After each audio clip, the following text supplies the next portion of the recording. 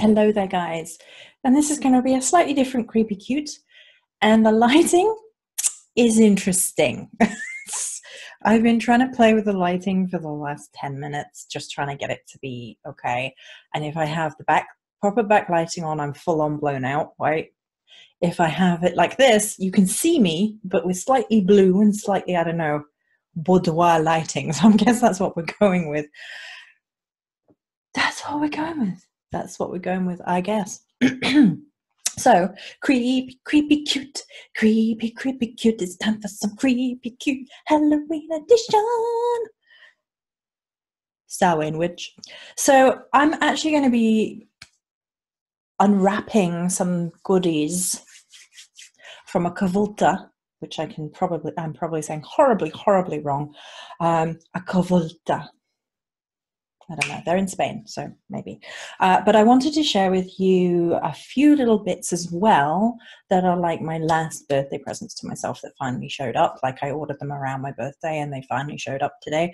Um, and plus one other thing that I ordered um, a little bit later, and one thing I found today, um, which is all kind of Halloweeny. It's all kind of creepy cute, and I wanted to showcase them. So originally I was going to do all the birthday items that I received, but I the more I sat with it, the more I sat with it, I just didn't feel okay with this. For some reason, there's something about it that doesn't kind of feel okay. So I'm going to leave that. And the people who bought me things, they know who they are. They know how much I appreciated them. I had some really gorgeous fox things. I've showcased a few of them, and I will probably continue to showcase a few of them here and there, just so people can, you know, feel appreciated a little bit more than me just being like, I love it, you so much. Because I did. I loved everything that you guys uh, sent me. So that was lovely. But let's see. okay. Russell, Russell, Russell, Russell. So the first thing arrived this morning and I was super freaking excited. Uh, super freaking excited. I was like, oh my God, it's here, it's here, it's here, it's here, it's here. Um, and there's been kind of like a little bit of a Spanish undertone theme today, given everything. Um, so the first thing that came was a pop vinyl figure for the faun from Pan's Labyrinth. Uh, I do like the pop vinyls quite a bit. I don't. I try to only get the ones that I really, really like because otherwise it's just a money, money, money sink. Um, but Pan's Labyrinth is one of those movies, right? I, I would consider it a life altering movie. It came up again recently. I'm going to just hold the phone here. Um, and it's set in the Spanish Civil War. And there's this beautiful dynamic between the terrible, uh, dark, I mean, dark quite literally, um, om- ominous, shocking, dehumanized world of the, the Spanish Civil War and what's happening around and the behavior of human beings um, is set against like this fantasy uh, world. This and it's a little bit eerie, a little bit creepy, and unto itself, it's a very old world kind of. But there's beauty in there, and it's like this dynamic between the two. It's an amazing storytelling experience. It makes me cry every single time every single time and it's it's supposed to make you question is it really happening? Is it just in her head to cope? What's going on here? And there is no right answer with that which i love. And the faun is obviously one of the main uh, fantasy figures within that movie. Um, and that's another thing. There is the whole movie is moral gray, right? Because the humans are not good humans for the most part. That you see some terrible actions in humans, and then um, the faun, its motivations and things are questionable. Um, I, the only like pure evil thing is the I've forgotten what his the creature's name is with his with his hands. Um, he's meant to be pure evil and just eats children, so it's interesting. But the rest of the movie is pretty much Mara Gray. So he came today. He was the only thing I really wanted for my birthday, and I didn't get one, so I ordered one for myself because I want one. So there you go. So he came today, was super pleased. Um, following from that, actually, this is kind of funny. This is a theme um, I actually ordered from. Um, now, this is from the taxidermist that I know. Um, so uh, it's naturally fallen um, so it's it's not been butchered up to serve, but um, a ram horn, and it's absolutely gorgeous. And it's actually really really interesting thinking about it because these came on the same day. So uh, you can make arguments for them both having like Cernunnos, like the, the faun talks about having many names, and Pan that is one of them, obviously, because of Pan's Labyrinth. Um, and this is actually to be part of oracle work that I'm doing, and I'm playing with different types of oracle work and uh, connecting to um, the energies of uh, spirits and things within. So I wanted this for that, not for any particular god, although it definitely has that Cernunnos vibe to it, that very wild. Uh, it's a wild English ram horn um, that was that naturally fell. So that was another thing. Um, and then the last thing that I'm going to mention, no, no, there's two more things. Sorry, the second to last thing I'm going to mention. Um, people keep asking about my. Well, they would if the camera didn't do that. They keep asking me about my eyeshadow recently, and it's actually I wanted just to give a shout out to the Juvia palettes. I have two of them now. This one is my favorite. This one is the Magic by Juvia, and um, she has Indian roots, I believe, um, and then like that goes into like all of the artwork um, with regards to her beautiful palettes. Um, and then I will move the thing. So this is the color palette from the Juvia. It's very bright, very vibrant, um, and there's some beautiful colors in here. So there's a really gorgeous rose gold here, which is coming off a bit purple on the camera because of the blue lighting. Um, but there's some really beautiful colors. I'm not a palette fan at all. Um, I've been disappointed by every other pal- palette I've ever tried. Um, I'm not bothered by it. I like bright colors, and a lot of them are just the color payoff ain't enough for me. I like so I go with like the Dazzle Dusts and the Medusa's Makeup Dazzle Dusts now because Barry M lost their soul and stopped doing bright colors. Still mad, although uh, their Eros, I think it is now. No, it's not Eros. They have a light blue sparkly one, which is saving them a little bit right now, but yeah. So the people who are asking about that, that's what that is. So I just thought I would mention that. And the final thing I found today, because Halloween stuff has started coming out, right? Um, and on mass, it's a bit rubbish.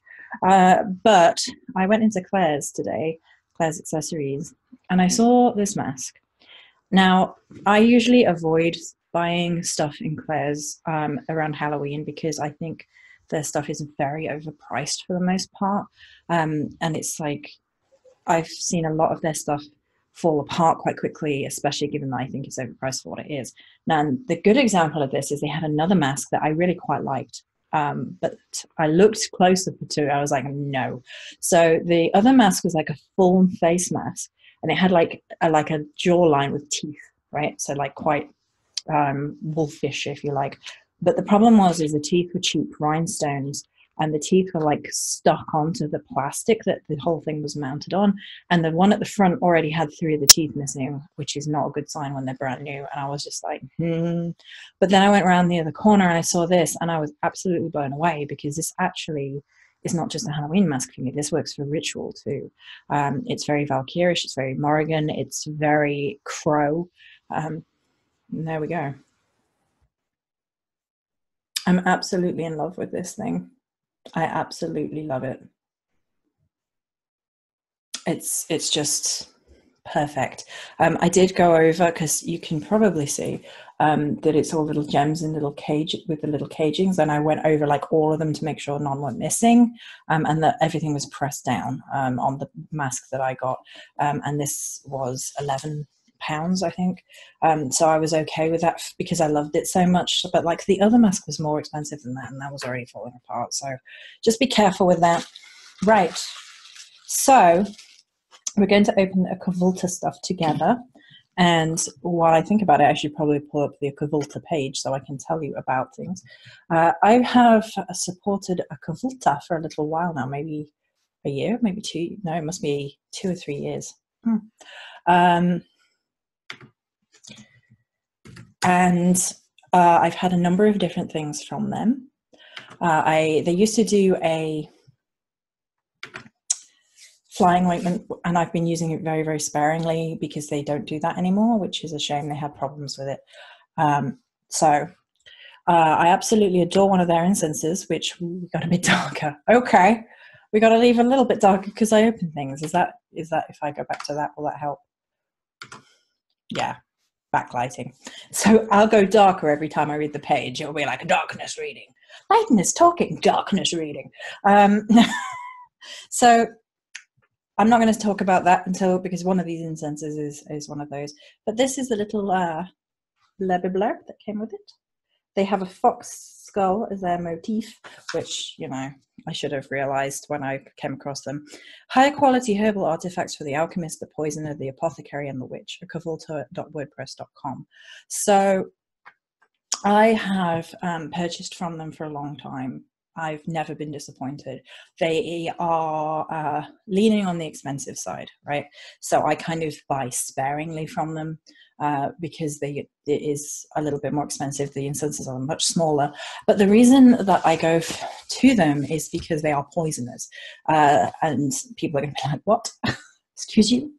Uh, they work with poisonous herbs. They work with bone dust. They work with uh, plants and devas and spirits of the old ways, if you like, um, that old alchemist, old poisoner, old apothecary vibe. Um, and we're going to talk about that as we work through, but we're actually going to unwrap together because I thought that would be cool. Now, I will say they sent me a free sample of the Pactum incense. This I did not order. This is a free sample, and it's a fairly fairly sizable free sample when you consider that the the bottles full price are not uh, that. Oh, one of mine is sold out now. Let me find the Pactum. Pactum, Pactum, Pactum, Pactum. Where are you? There you are. Oh, it might be. Is it? Is this their love incense? Uh, the blood red Pactum incense crowned with Alexandrine rosebuds is destined to work as an offering in spirit bonds and solemn ceremonies.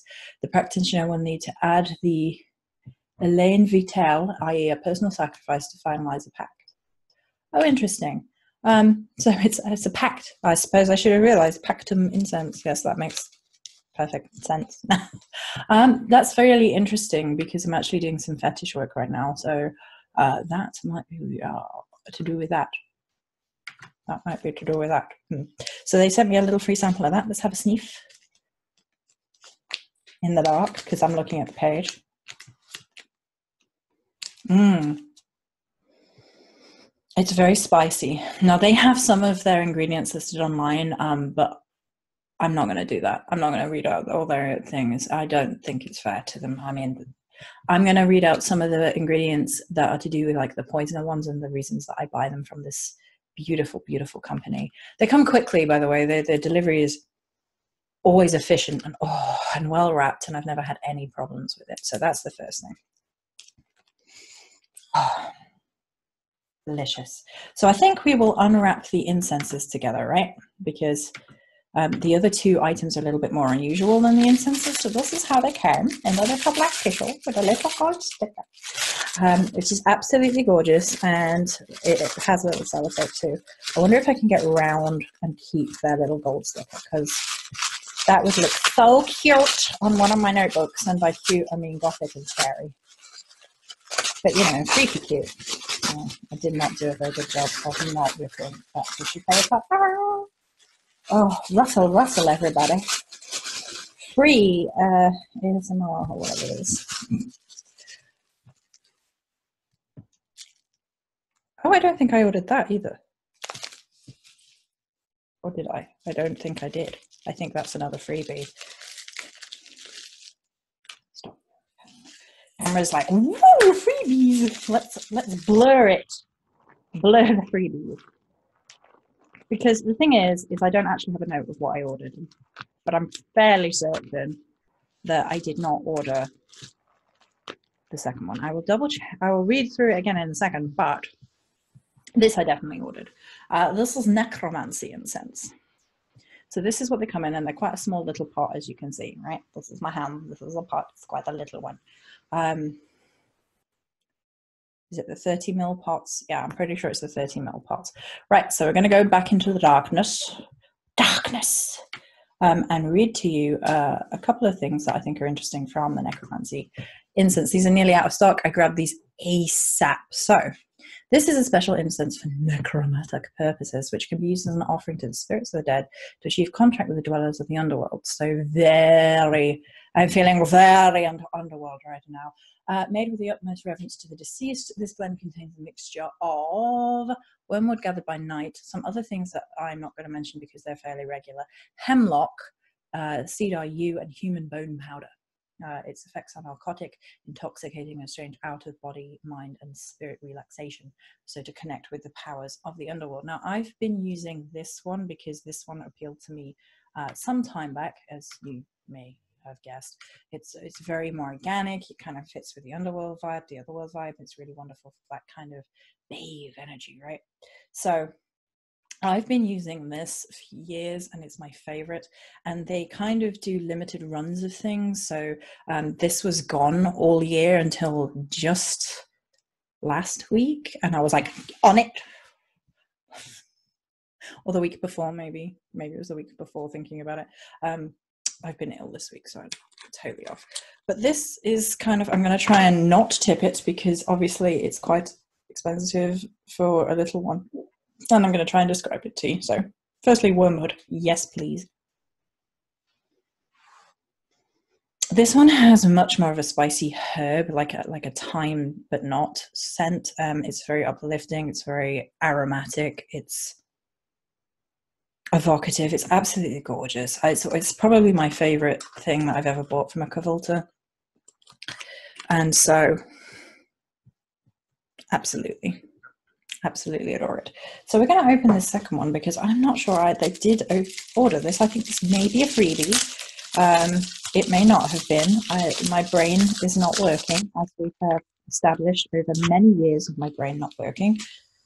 Uh, Idol Chrism, which is an oil. Right, let's go to the website and find out if I remember ordering this or not. You'll find out quickly unless this actually came with the other thing. Did you come with one of the other things? One second.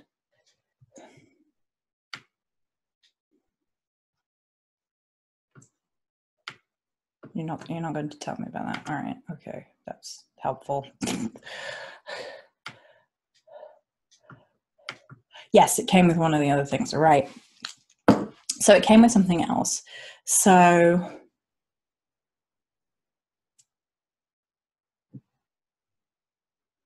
um, I'm guessing it's just a complementary oil to spot for. This is Bryony root fetish and oil. Bryony, also known as English mandrake or devil's turnip. I'm not going to say I bought it because it's called devil's turnip and that amuses me, but maybe. and I there we go. There Come on. So this is a large root piece to be using spirit work for getting into spirit work time. And plant devas spirit energy you know this bedroom lighting and holding this root it's it's gonna it's gonna be a dangerous video right so Bryony, also known as English Mandrake or Devil's Turnip, can be employed in devilish works of trickery and glamouring, cursing, and to both veil and unveil deepest secrets, perhaps as a fetish to protect or damage individuals in crooked ways. This amazing Bryony root was harvested on May 2nd, 2018, in the Catalan Pyrenees and thoroughly dried for three months to be used as a wand or a fetish. Um, and it comes with the oil. Um, which is the Idam Chrism oil which is this. Um, I'm guessing this is to further the work for it. Um, so if I pull the video up so I know what you're looking at versus me reading. One second. Light! We're back in the light. So again, this looks an awful lot like the horns thinking about it. There's a theme going on here. Yeah. Um, I'm not going to go there. It's an obvious pun but um, this to me is for working in like the poison path energies. I, I enjoy working with those kind of spirits, those kind of energies, and that kind of spell work um, for deeper understanding, for kind of moving through the underworld and learning lessons of, of that nature. Uh, I'll probably talk about that a little bit more in, in videos pertaining to that um, going forward, but not today. Um, I wonder if um, I can search to see if they have this on the website as just an oil. One second. Now I got the only one of those, so I was super happy that I got the only one of those. Um, no, okay, so maybe if I Google it, it'll, it'll tell me. Do they have the information somewhere else? Akavultar, Akavultar. Oh, so it's like a baptism thing. Okay.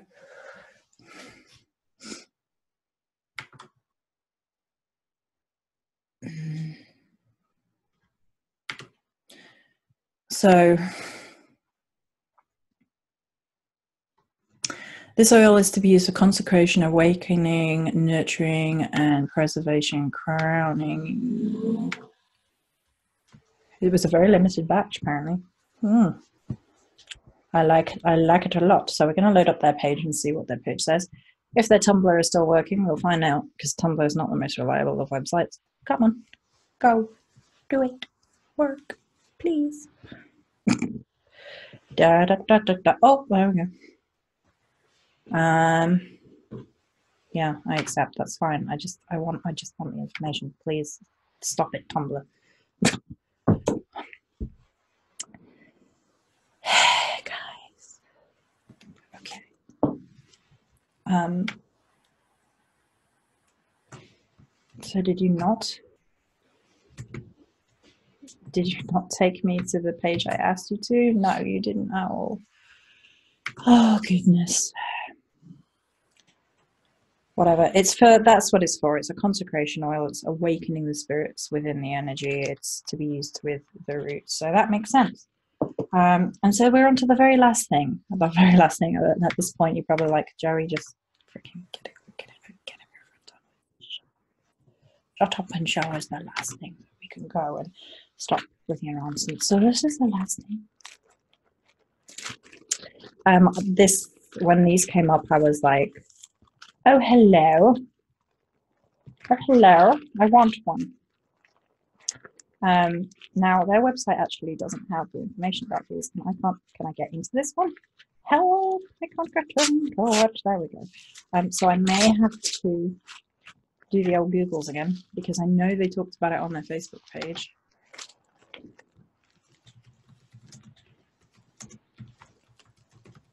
whilst we're rustling. That, that. Oh, I hope we didn't cut the video off. No, we're fine. Right.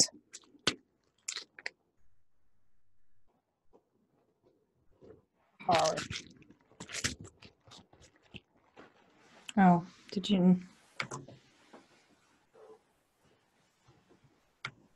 Yeah, there we go. That one's got the information on.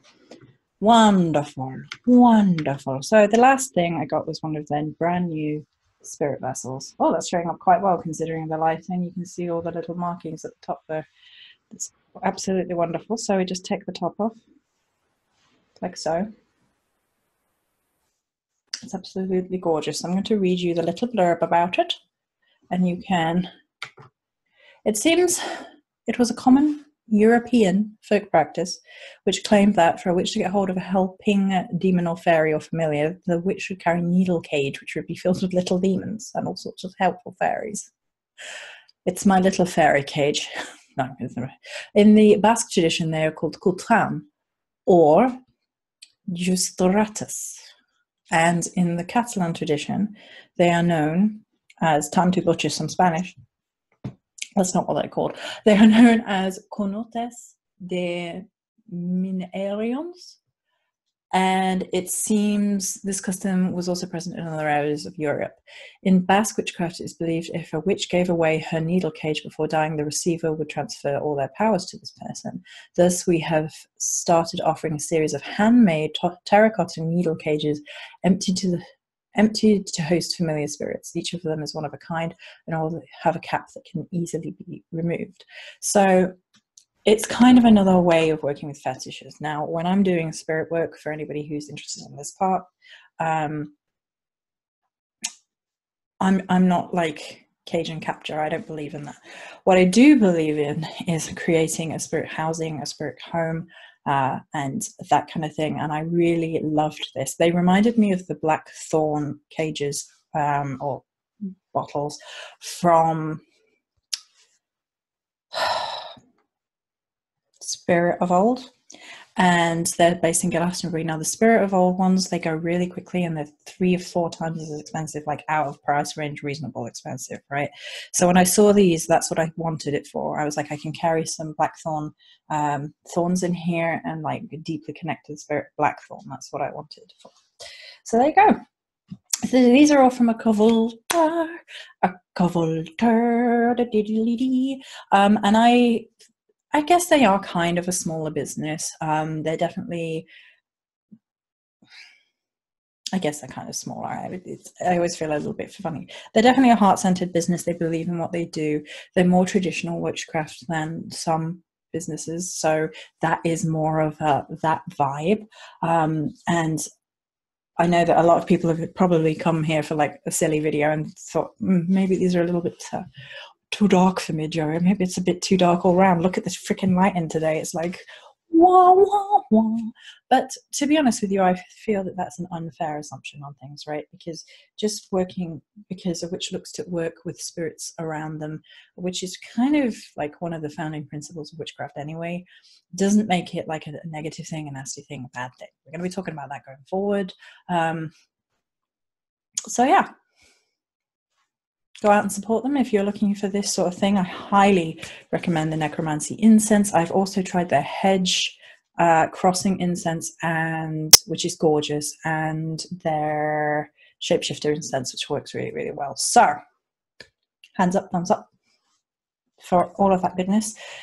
And I will see you guys next time. Many blessings.